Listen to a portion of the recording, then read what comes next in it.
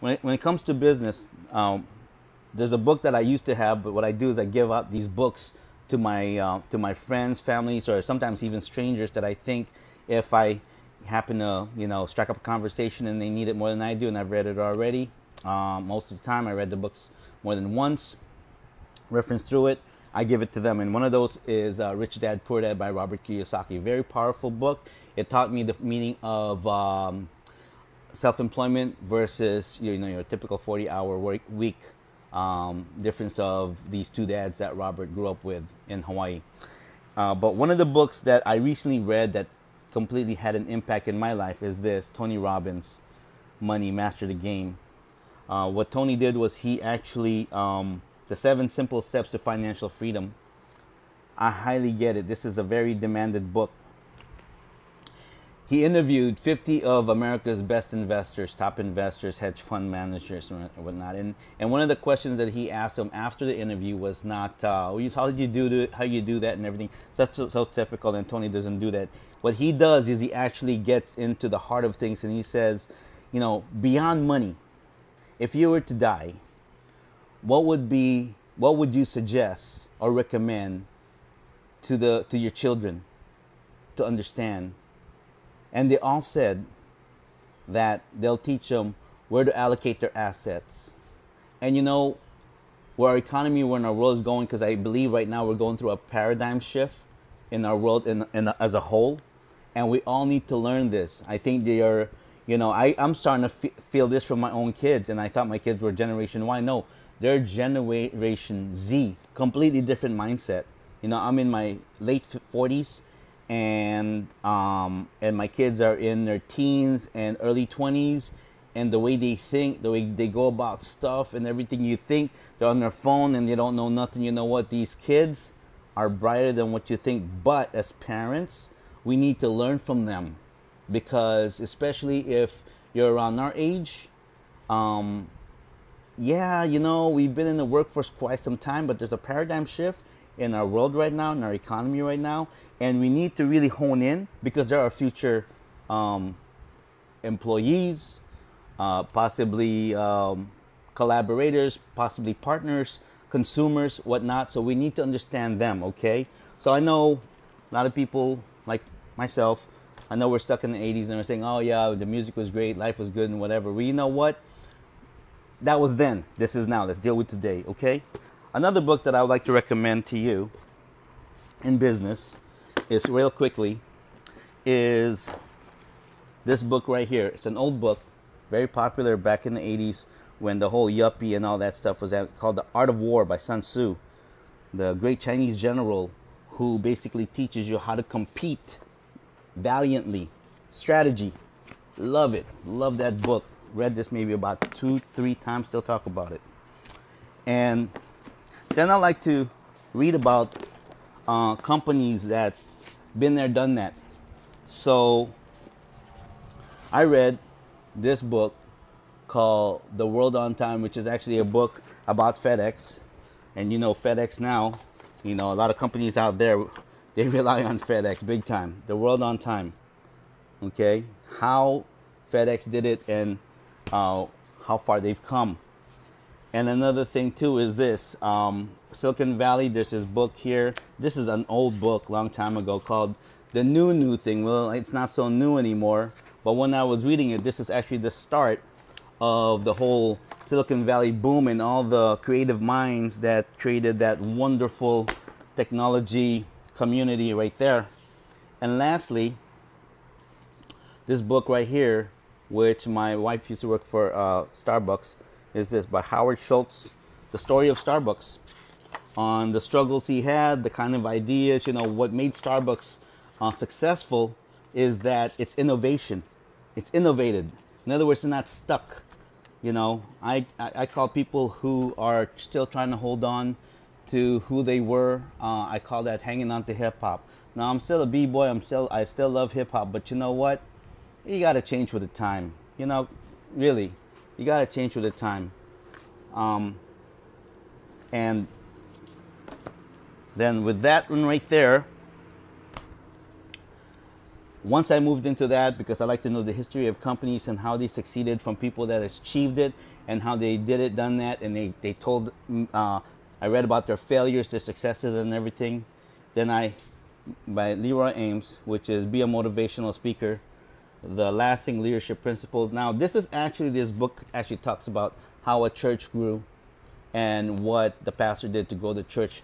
And in today's time, there's a lot of churches out there that's hurting hurting for membership and um, hurting for um, congregation and whatnot. So there, a lot of churches out there are changing their paradigm into teaching the word and whatnot, uh, and, and and and doing whatever they can to to gather the people in. And the unfortunate thing is this that uh, they kind of um, leave out a lot of the really important stuff. Some a lot of them just believe in the in the New Testament. They don't believe in the Old Testament. Well, it never said in the Bible that just believe in this and don't believe in that. No, you got to put them together. In order for the Bible to stick and to know, you got to put it together. Old Testament, New Testament together. They're all pretty much the same. So, with that being said, I'm going to move forward over here. Um, one of the last books that I uh, am reading, a thin book, is this right here. This, The Magic of Believing this here, along with this here, these two books right here, matches the two and two together. And it just kind of gives you this idea of like, my gosh, you know, all that, because all of these books here, all of this here, it's already really summed up. This is just like, this is basically what the world tells you their successes are. And this is basically where it's been and what people have been through and what how you're supposed to think. But I like to go a little deeper. I, I, I never was one of those people that just I like to just see it on the shallow side. I like to go deeper. Uh, and maybe that's the reason why I'm a marketing major because uh, especially now, like I'm doing this this um, this project, this consulting uh, job for this restaurant that's planning to to expand called Tiano's. Excellent restaurant, by the way.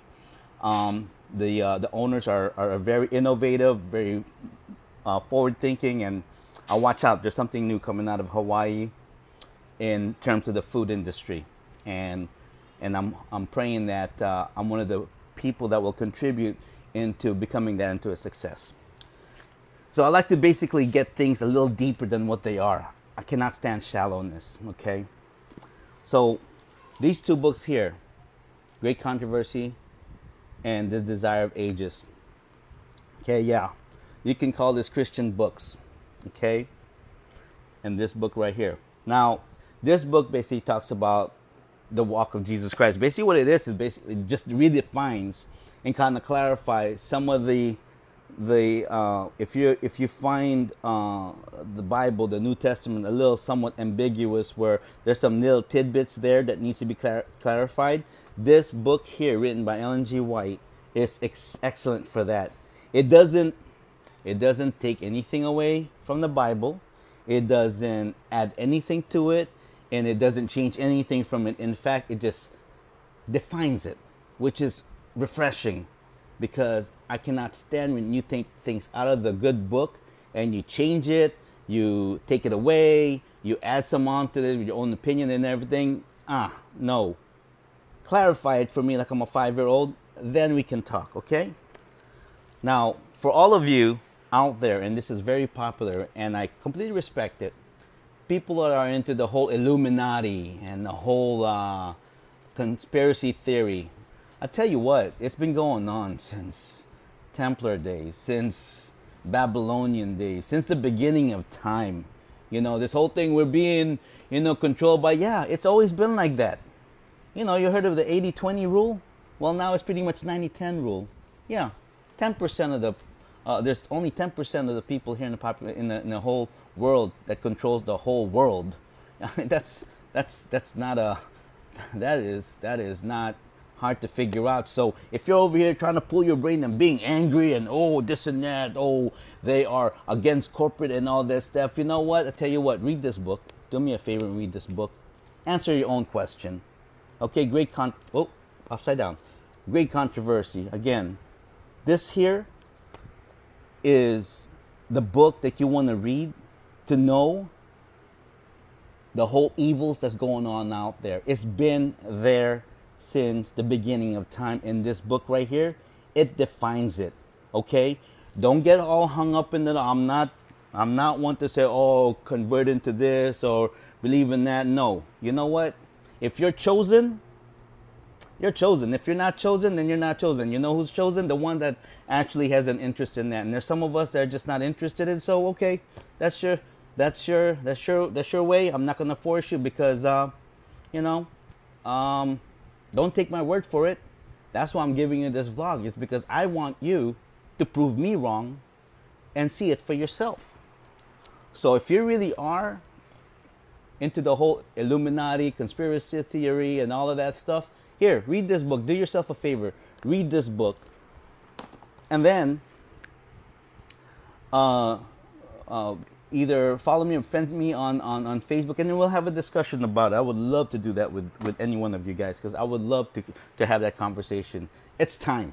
It's time for us to really understand what is going on today. And do not be in the back shadows where, you know, all of your opinions and what you're saying all matters. It is time for us to stand up, to stand out, and to speak what we know and whatnot, and to understand what's going on. Now, with all of these books combined, okay, that I've showed you, with all these books combined, in fact, let me, ah, okay, huh, and these are just some, okay, these are some of the books, just some, very few books. It really all sums, it's all summed up in this book right here. Yeah, I know. You probably say, oh, my grandmother always quoted the Bible, or my uncle, or my mom wants to convert me, or my brother became this and everything, and then and, and he wants to, or she wants to, or they want to, or, or forcing me, and so I don't know, and whatnot. Like I said, if you're chosen, you're chosen. The Bible says so. If you're not, well, you know, if you're not interested, yeah, then that's on, on to you. There are the ones that are chosen and the ones who are not, not chosen. If you're chosen, you're going to be convicted. You're going to open this book today and read about it because everything that's on on these books that I over here with all the books I've read, all the secular books I've I've read, there is not one book in there that did not start from here. And I don't know about you. I'm not I'm not one of those mainstream guys. My Facebook friends, you know me, the ones that's known me since high school, since elementary school, since whatnot. You know what? Uh-uh. I am not into the whole mainstream stuff. Uh, you know, if, if it's mainstream, I'm on the other way. No, I'm not into that. No. I like to get to the gist of stuff, the truth of stuff, no matter how much it hurts. I will learn it because I would rather know the truth. And then with all of that stuff that I've read and what I've studied, and everything is here, these are just to prove it. That it, what's said here is the truth. Remember it and put it. I highly recommend create have your own journal. Why? Because one day it may not be your spouse, it may not even be your children, it may not even be your family, it may not be your relative, but one day, and make sure you date it. Someone along your lineage or someone that you know is going to get interested in what you're writing. It's going to come to that. And churches out there, don't worry. One day, all that stuff that you've been trying to preach all these times about the good book. Okay, because right now people are kind of comfortable, kind of comfortable. But it's going to come to a help where people are going to be desperate to know that stuff that you've been wanting to tell them a long time ago. You know, all that stuff that is going on. Because after a while, because we're getting to a point right now where all of the questions that we have is being seen right now, being shown right now. There's like nothing really new anymore pretty much. And all that stuff that you've been wanting to profess to them is now being, uh, it's now coming to fruition. It's now coming to reality. So put all your thoughts into your own journal here and write it down because you don't forget because sometimes you put in your smartphone and then you can't pay your phone bill and then next thing you know your data is gone and, and or you're, or you're in the cloud so put it in here stick to some old school writing anyways um, once again this is ray and I just want to thank you so much for tuning in. And um, I, I bid you all the luck in the world, and I pray for you. May the Lord bless you and keep you.